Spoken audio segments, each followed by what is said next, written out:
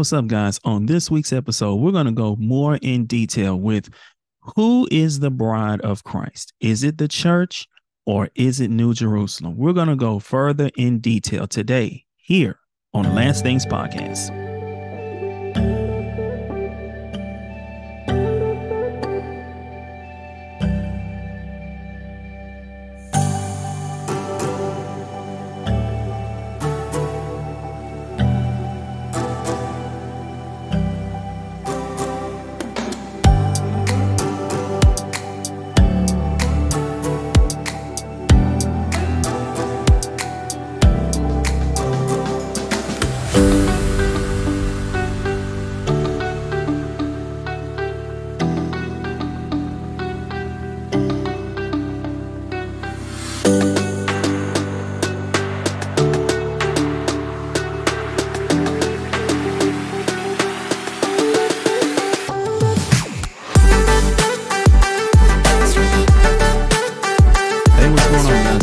Coming to you once again with another episode of the Last Things Podcast, where we are on a journey to truth. It is indeed an honor and a privilege to come before you once again as we discuss the Word of God. How's everybody doing on today? Thank you guys so. I got some of my eye. Thank you guys so much for tuning in with me this week's episode. Of course, we got a banger of an episode. Thank y'all so much for tuning in. I really do appreciate it, man, because as I tell y'all all the time, this podcast would be nothing if it was not for you guys. So I want to tell you guys from the bottom of my heart, thank you guys so much. I truly do appreciate it. Thank you, thank you, thank you. Um, I know we're supposed to go into, we're supposed to finish up Revelation chapter 21, where we're talking about New Jerusalem. But I started listening to the episode last week. And you know, after I after I listened to that, I felt like I really didn't do a good enough job explaining um the bride as far as is the bride the church or is the bride New Jerusalem? So what I want to do is I want to let's just say this is an interlude episode, okay? This is an in-between episode cuz I want to go more into detail about the bride. And I want you, and I want to explain why we say the bride is the church. Why the bride is not New Jerusalem. The bride is not New Jerusalem. The bride is the church, okay? It's not New Jerusalem. New Jerusalem is just where the bride lives. She lives in New Jerusalem. New Jerusalem is not the bride, it is the church, okay?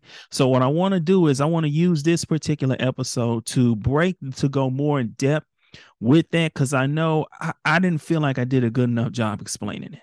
So we're gonna so we're gonna spend this episode explaining the differences between the two as to why the bride is the church and not New Jerusalem. Okay. So um let's do this. Let's go to Ephesians chapter 5. Let's go to Ephesians chapter 5. Very popular scripture. This is very popular. And we're going to scroll down to verse 25, okay?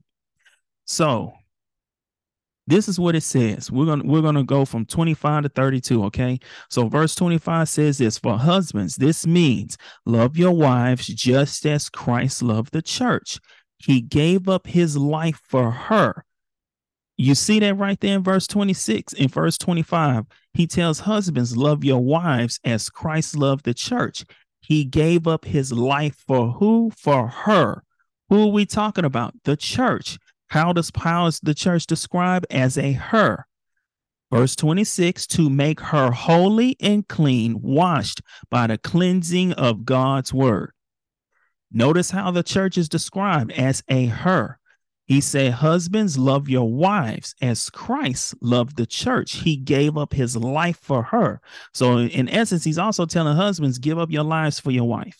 Okay. Now, let's keep going. Verse 27. He did this to present her to himself as a glorious church without a spot or wrinkle or any other blemish. Instead, she will be holy and without and without fault. So we see here, verse 27. She, as a glorious church, she will, he did this to present her to himself as a glorious church. You see that? So church is described as a her without a spot or wrinkle or any other blemish. Now, I want to stop right here. This right here tells you the church cannot have any spot or wrinkle or blemish, right? There are a lot of people who believe the woman in Revelation chapter 12 is the church. The woman in Revelation 12 is not the church. The woman in Revelation 12 is Israel because she's pregnant. Who is she pregnant with? She's pregnant with Christ. If the church was pregnant before she got married to before Christ, before she marries Christ, we have a very big problem. Okay. So the woman in Revelation chapter 12 is not the church. If you want to, if if you're hearing this for the first time and you want to um go more in depth with Revelation chapter 12, go back to episode 42 and episode 43. That's where we'll go in depth with who the woman is and who's the and it'll go it, it'll go more in depth. Okay. But I'm just giving a brief little overview for those who in case we have new listeners who are listening for the first time. Okay. So we know, so Revelation chapter 12 is not the church. That woman is Israel, okay?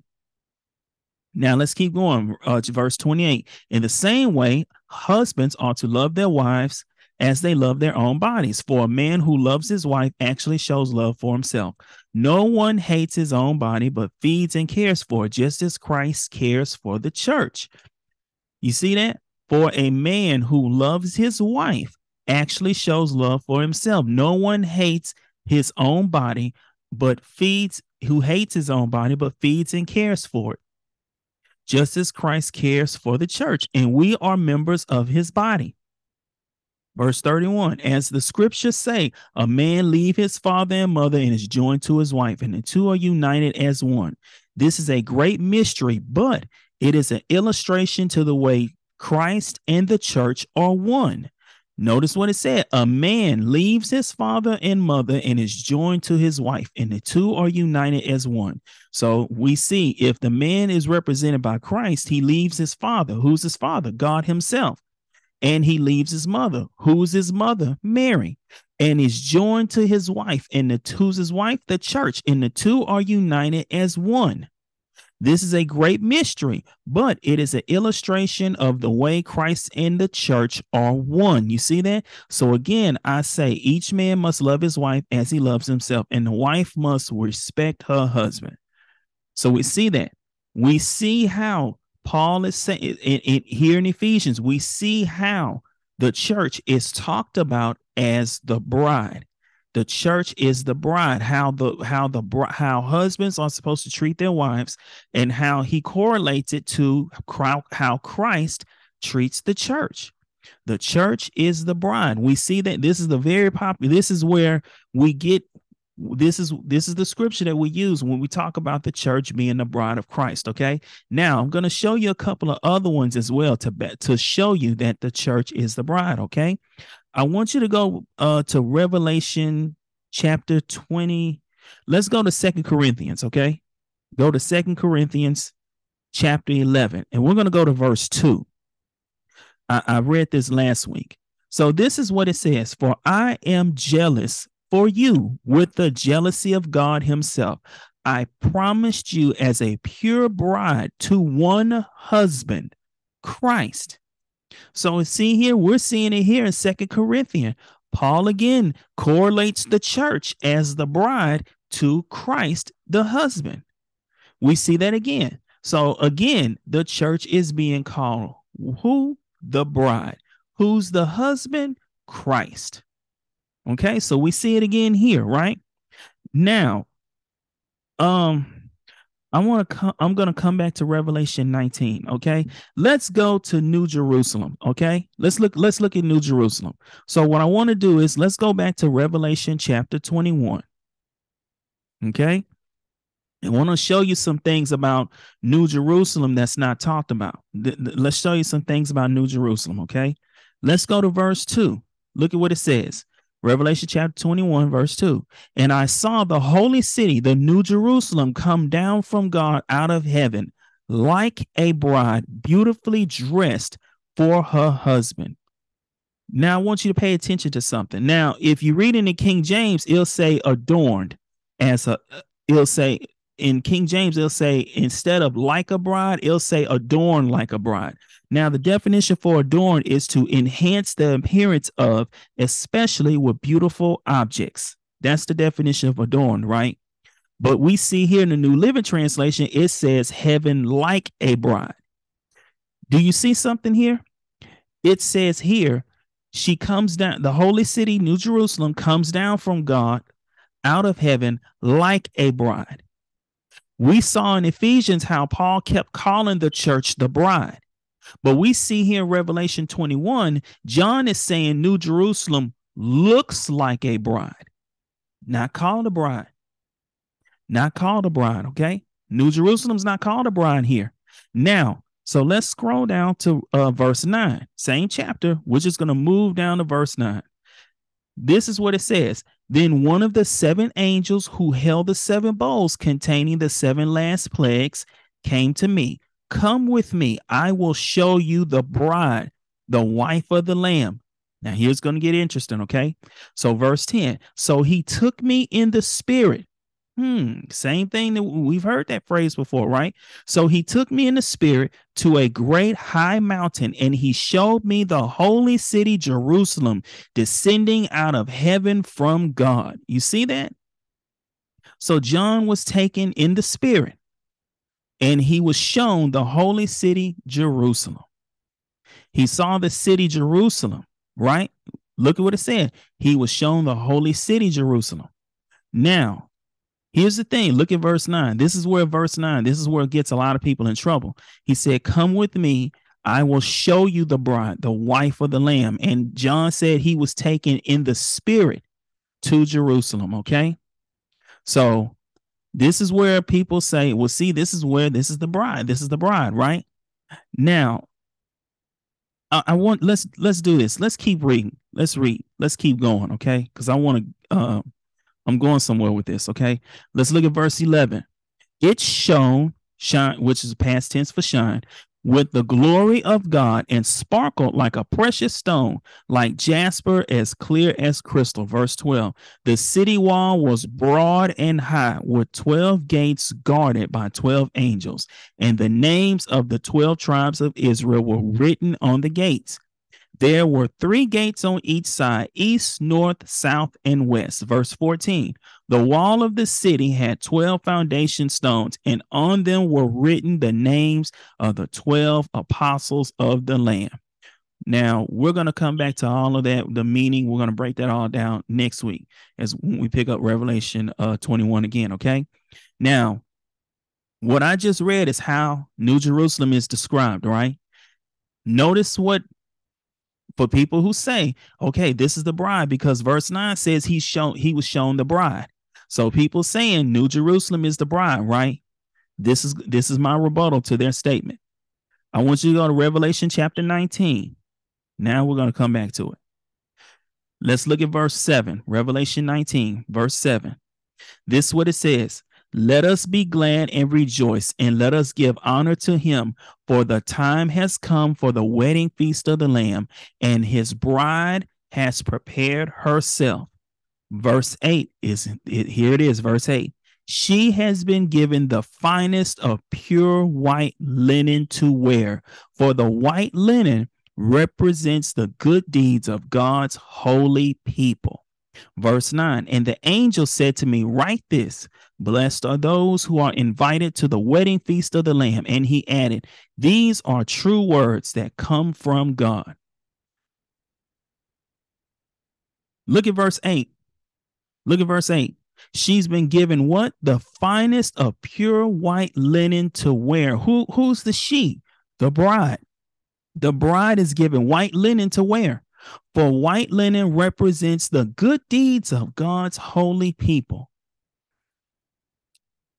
The bride is going to be wearing white linen. When we read the description of New Jerusalem, did you see anywhere in anywhere in New Jerusalem's description where you saw white linen? And and look and look what the white linen represents, the good deeds of God's holy people. Did when we just when they read the description of New Jerusalem, did you see anything there about white linen being attached to New Jerusalem? No, you did not. But here in Revelation 19, it says she's going to be wearing white linen. So New Jerusalem cannot be the bride. Why? Because she's not wearing because New Jerusalem is not wearing white linen. Just as the scriptures say. And this is going to be the final this is my final um piece of evidence to show you that New Jerusalem is not the bride, okay? One, she's not wearing New Jerusalem's not wearing a white linen as she's supposed to. Two, she's looks like a bride, but not called a bride like the church is. And here's number three. I want you to skip skip ahead to Revelation chapter 22. And I want you to go down to verse 17. Let me pull up on my laptop real quick. Revelation 22. And I want you to go down to verse 17. Let's read it. The Spirit and the bride say, Come. Let anyone who hears this say, Come. Let anyone who is thirsty, say, let anyone who is thirsty come. Let anyone who drink, who desires drink freely from the water of life. Look at how verse 17 start. Verse 17 starts of Revelation chapter 22. The Spirit and who? And the bride the Spirit and the bride both say. Who's talking? The Spirit and the bride. The bride is speaking. In Rev- the bride is speaking right here in this verse. Does New Jerusalem look like it speak? Does a city speak? The, the people in the city speak, but the city itself does not speak because why? It's an inanimate object. So when they say, I'm gonna show when we went back to Revelation chapter 21 and John and the angel tells John, I'm showing you the bride. New Jerusalem is not the bride. He's taking them to the city where the bride is. The bride lives in New Jerusalem. However, New Jerusalem, the city itself, is not the bride. It's the the bride is the people living inside of New Jerusalem. Okay. As I said last week, New Jerusalem is not the bride. It's just the city where the bride lives. The bride is living somewhere, living in living in New Jerusalem. That's why the angels say, I'm gonna take you to the bride. The city is not the bride. The people in the city are the bride. The city is just where the bride lives. That's where the bride lives. The bride lives in New Jerusalem. However, the church is the bride. The church has always been the bride of Christ. It's not New Jerusalem. New Jerusalem is just where the bride will live. And did you notice, like I said, when we read New Jerusalem's description in Revelation chapter 21, did you see anything about white linen? But Revelation 19, the marriage supper of the, the Lamb says the bride was given what? White linen. And what the white linen represent? The good deeds of God's holy people. You didn't see anything in New Jerusalem when we were describing New Jerusalem. You didn't see anything about white linen. And notice what God, and notice the angel tells John, write these words down, for they are faithful and true. He's saying you can bank on it. This is true. So if the bride in Revelation 19 is wearing white linen, then why isn't she wearing white linen now in Revelation 21 if New Jerusalem, the city, is the bride? So I wanted to do this little short video because I wanted for people to know New Jerusalem is just the bride. Is I'm sorry, it's the city where the bride lives. It's not the bride itself. The bride itself is the people who live in the city. It's the people in the city, not the city. It's the people inside. The bride is where she lives. And also, I want you to notice something else too about the people. We're going to see further ahead in Revelation where it talks about how um, nothing unrighteous can get inside of the city. Why? Because the because Christ is protecting his bride. Nothing unrighteous can get in to affect her, to hurt her, to bother her in any way, shape, form, or fashion. We'll see it again I think it's in, I think it's further along in Revelation 21. So we'll see it next week. But I want to make that, like I said, I wanted to make this short episode to show you New Jerusalem is not the bride of Christ. The bride of Christ is always has and always will be the church. When the angel says, I'll show you the bride, he took John, the angel took John in the spirit to New Jerusalem. New Jerusalem is just the city where the bride lives. However, it's not the bride. The bride is the people that live in the city. Okay. So I hope this this like I said, this is gonna be this is a short episode, but I hope hopefully this will um will get you guys hopefully to see. Hopefully, I did a better job this time explaining that New Jerusalem is not the bride, the bride is the church.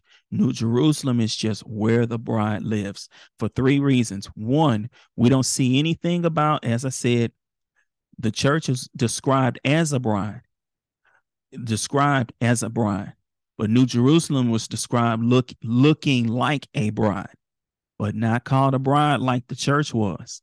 We also saw in Revelation 19 that the bride that that the bride will be wearing white linen.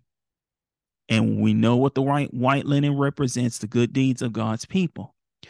New Jerusalem is not described as having any kind of white linen. We don't see that at all. And and the angel tells John, this is ba- this is good and true. You can bank on this. This is true. So that means we should have been seeing white linen if the, if New Jerusalem was the bride. We didn't see that.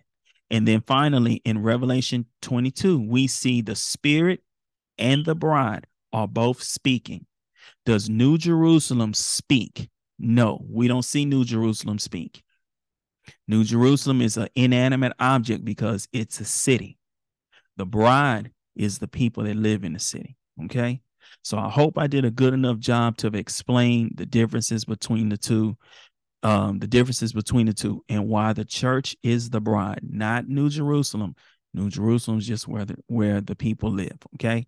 So that's it for this um interlude of an episode. Um, let's do this. I want to while we're sitting here talking about New Jerusalem and and the bride and white linen representing the um good deeds of God's holy people. This is a perfect segue for for our call to salvation, as I call it, because we want to make sure that if anything um if anything happened, we want to make sure that um that your salvation is secure man, you know, I last yesterday I was watching this Nicolas Cage movie called Knowing. I had always wanted to see it, but I never saw that movie. Yesterday was the first time I saw the movie, right? So as I'm sitting down watching it, I kind of see what happens. And you know, in case you've never seen it, seen the end, I'm about to spoil it. In the end, there's a solar flare that comes to destroy the earth, right?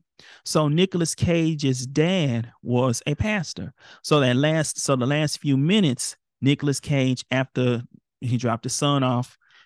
I'm not spoiling everything, but he dropped his son off. You got to watch the movie to understand what I'm telling you.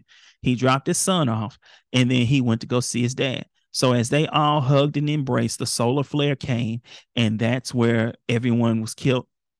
Everyone was killed.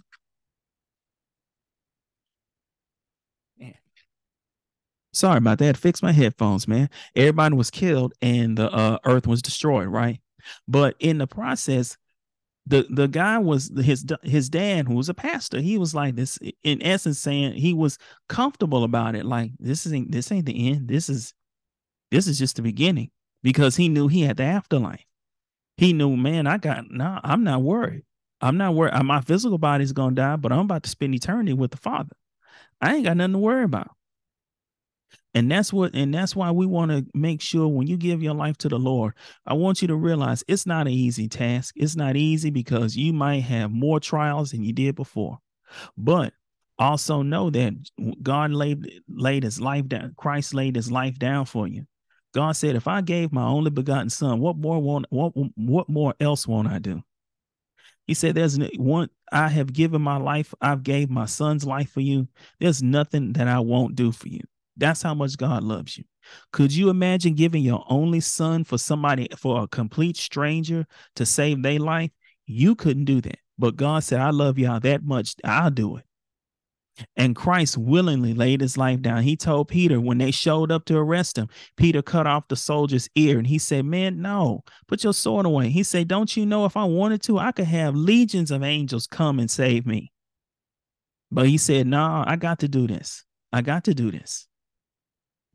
So there's nothing that Christ won't do, man. Yeah, it gets hard at times, but but that's where you gotta some some things happen in our lives and we wonder why, why, why. And sometimes it's just like, no, it's it's it's happening because I got a I got a better way. But you gotta trust me. Trust me. I know what I'm doing. I got this. Trust me and follow me. And I'll trust me and follow me. I'll make you fishers of men your latter will be great. Your latter days will be greater than the former days. That much I can tell. I will tell you that right now. Yeah, you might have some trouble, but I promise you, you won't be in it by yourself. That's why the Bible says, "When my mother and my father have forsaken me, Christ said, I'll never leave." Christ said, "I'll never leave you nor forsake you." And He's not a man that He shall lie. If He said it, He's bound by His word to do it. Amen.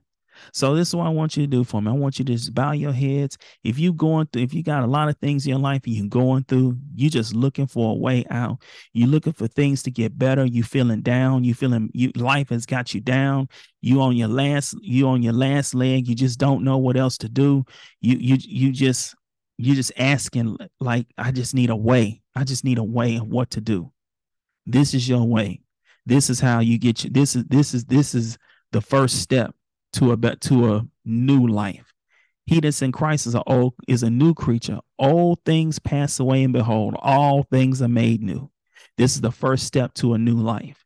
And I promise you this: what you're going through now, this time next year, it won't look nothing like it does right now. I, am not even gonna say next year. It could be six months from now. It could be a month from now. But don't give your life to him because you won't, because you coming in thinking he's going to change everything right off the back. It may take some time. It could take time. But I promise you, you're going to look back at this and you're going to be like, man, I cannot believe I did that. And man, my life has just taken off in ways I would have never expected. So this want you to want you bow your heads, pray this simple prayer. Lord Jesus, I confess that I am a sinner in need of a savior. I ask you, Lord, come into my heart make me, shape me, and mold me into the person who you've called me to be. I lay my life down for you. My life is now in your hands. Do with me as you wish. In the mighty name of Lord Jesus, I pray and thank you. Amen.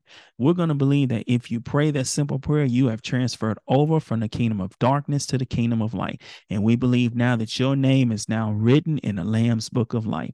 And if your time comes tomorrow, next week, next month, next year, or the rapture takes place, you're going to spend eternity with the Father now you're going to be like the thief on the cross. He told the thief on the cross, This day you're going to spend eternity with me.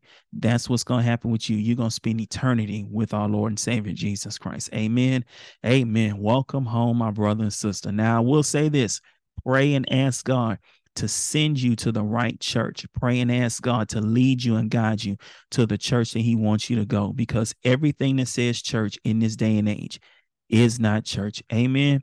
Amen, guys. Thank you so much for tuning in to this week's episode. As I said, this one was going to be a short one because I really want to go more in depth with um, the bride and and uh, the church in New Jerusalem. Okay, so next week we're going to pick up with uh, we're going to pick up Revelation chapter twenty one. No, we're not going to do that. You know what? This is what I want to do.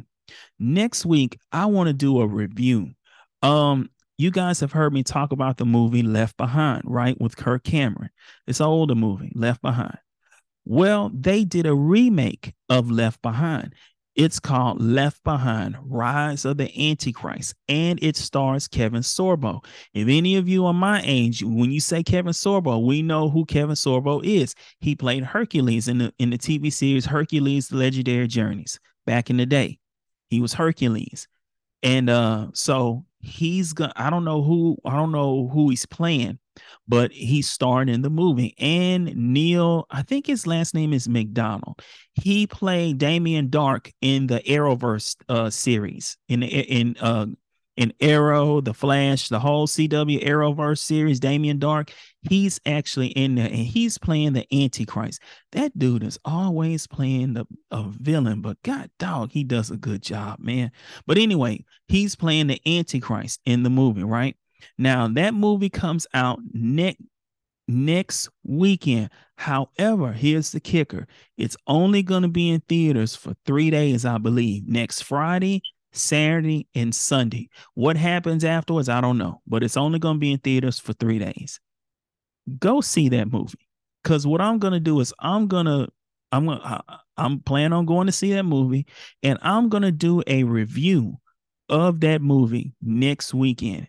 And what, what we're going to do is we're going to see the um we're going to review the movie and we're going to line it up and we're going to see what parts explain what parts are right and what parts are wrong in the movie when it comes to the end time because you know it, it's always going to be off so the question is what parts are right about the movie and what parts could be wrong about the movie. Okay. But go see that movie next week. Man, that you know what? That's a good family movie for everybody to go see. In fact, I would dare, I'm gonna take it a step further. If you're a pastor listening to this, that's the perfect movie for the whole church family to go do. If y'all, if y'all, if the whole church family want to get together and do something, that's one good thing right there. Everybody go see that movie because I plan on going to see it.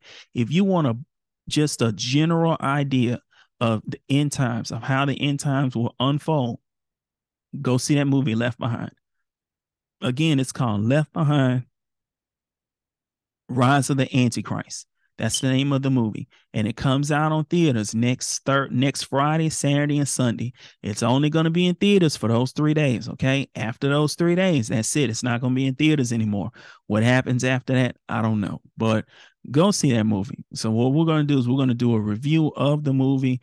Um, it's going to probably be some spoilers in it. So if you haven't seen it, you might I'm gonna put a title in the in the uh, video. Hey, it's gonna have some spoilers if you haven't seen it, but go see the movie. Okay, I think it's gonna be a very good movie uh, a good family movie for a family to go see. Spend a night in the Word, man. You can't go wrong with that. Amen. Amen. Guys, I love you. You guys have a blessed week. Please be safe out there. Remember what I always say pray uh, the Lord's Prayer with you and your family, and pray the armor of God prayer before you and your family leave out of the house in the morning to keep you guys safe from the tricks of the enemy. Okay. Love you guys. You guys have a blessed week. Be safe out there. And I'll see you here next week with another episode of the Last Things Podcast where we are on a journey to truth. Love you guys. Be blessed.